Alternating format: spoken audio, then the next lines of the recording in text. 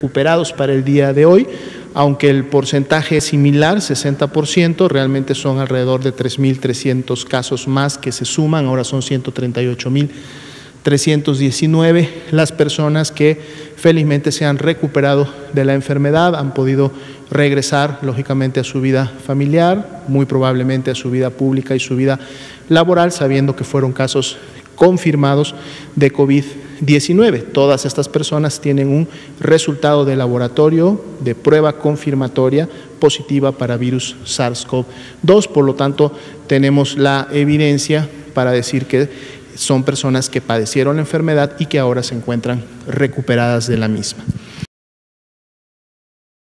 Quédate en casa.